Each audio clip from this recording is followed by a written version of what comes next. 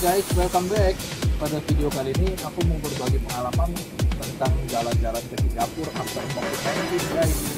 Karena per 1 April kemarin Singapura sudah open for tourism. Jadi silahkan disimak videonya ya guys. Buat ada-ada mungkin juga mau jalan-jalan ke Singapura dan ikuti. Simak videonya ya guys. Wah, sudah 2 tahun lebih nih guys. Nggak keluar negeri, baru keluar negeri lagi nih setelah akhirnya open pasca pesawat guys kelihatan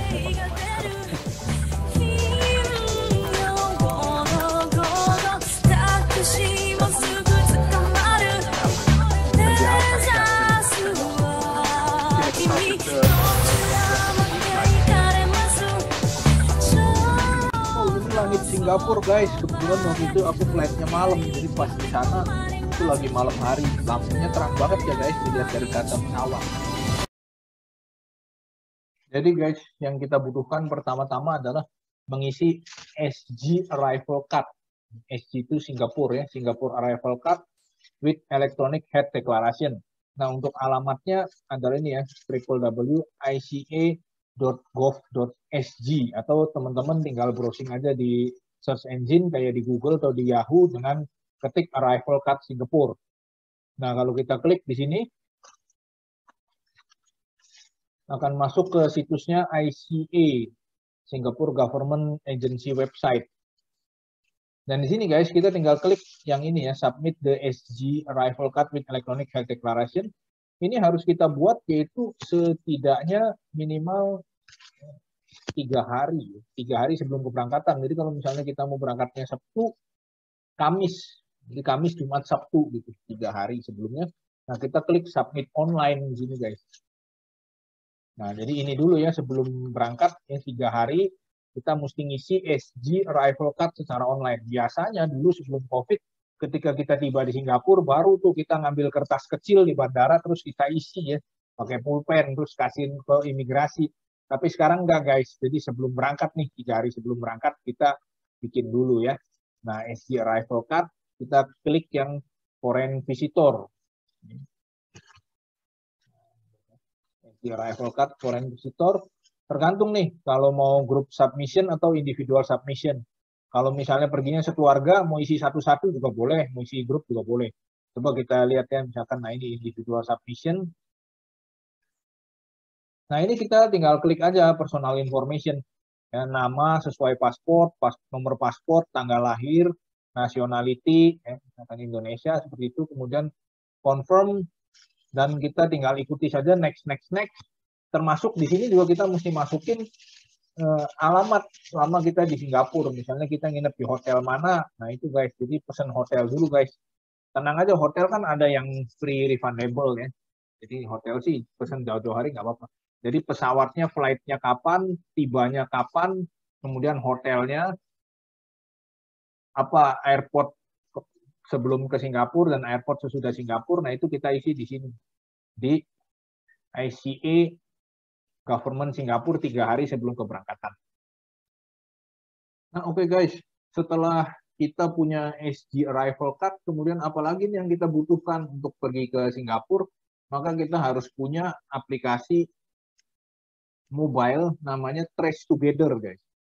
Trace Together ini sama dengan hampir sama dengan Peduli Lindungi yang di Indonesia atau My Sejahtera kalau di Malaysia. Jadi nanti setiap kita masuk ke suatu tempat, kayak misalnya mall seperti itu, kita akan diminta untuk nge-scan QR code menggunakan aplikasi Trace Together.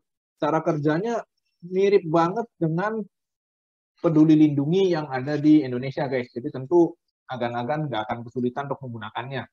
Nah, yang penting smartphone-nya ada sinyal nih. Jadi bisa beli smart uh, bisa beli kartu SIM di Singapura atau kalau pas lagi ada jaringan WiFi ya bisa connect menggunakan WiFi guys. Jadi intinya download dulu aja guys dari Indonesia yaitu aplikasi Trace Together. Nah guys berikutnya kita juga tentu membutuhkan namanya International COVID-19 Vaccination Certificate guys. Jadi sertifikat habis vaksin tetapi yang internasional. Nah, cara dapetinnya gampang guys. Tinggal lihat aja di aplikasi Peduli Lindungi punya kita masing-masing. Klik yang untuk sertifikat internasional. Nanti bisa kita download filenya formatnya PDF guys. Nah ini mendingan di print aja guys, jadi enak kasih lihatnya gitu.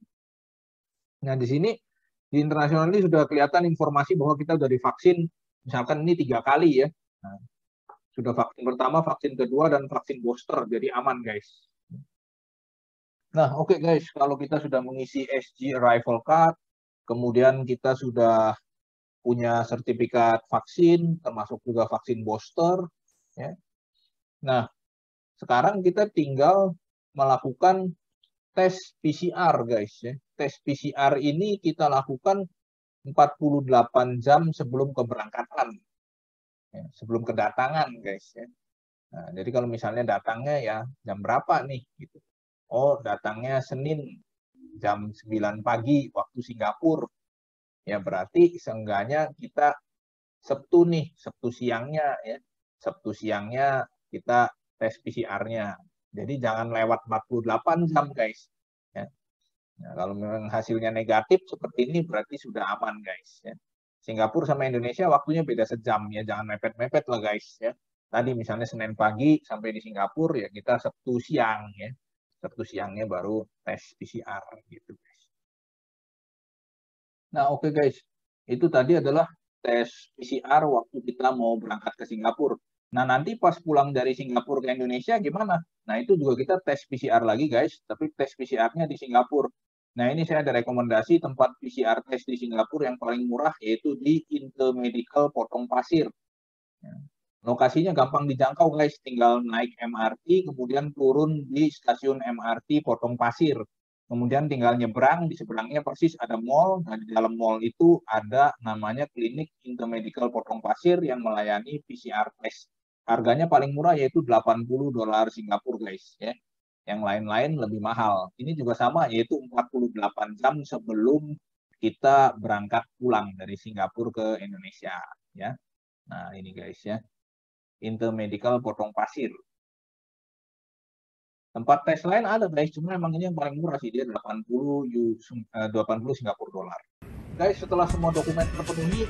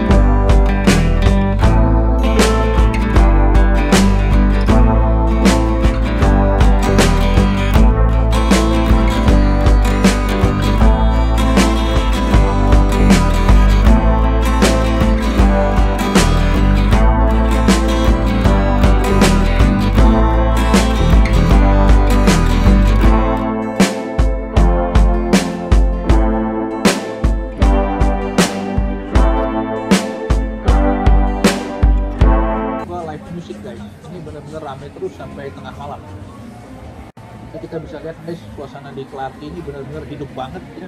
Banyak banget orang di sini semua pada kumpul-kumpul menikmati malam di Singapura. Wah, luar biasa guys.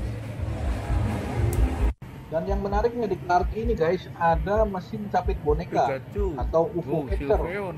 Dan capit bonekanya nggak sembarangan nih. Capit bonekanya adalah boneka-boneka yang bagus-bagus nih. Gachapon. Boneka-boneka Pokemon yang ori. Jadi kualitasnya ori guys, seperti boneka Pokemon yang dijual di Pokemon Center. Nah untuk mainnya Pikachu. ada yang satu koin, ada yang dua koin. Nah ini Pikachu ya, lucu banget ya. Pakai koin satu dolar Singapura guys. Pikachu. Tuh ada Pikachu, Pikachu-nya pakai kostum macam-macam nih. Wah, lucu banget. Nah, ini Pokemonnya macam-macam nih. Ada Igglybuff, ya. Ada Charizard, ada Gengar, ada Snorlax, ada Slowpoke, ada Teddiursa, Gacha Toys. Wah, keren banget guys. Kalau kita mau ngadu perhubungan nih, bisa main ini nih, tapi boneka ya. Nah, tuh ada Dragonite juga guys. Lihatnya keren deh. Pichu. Larky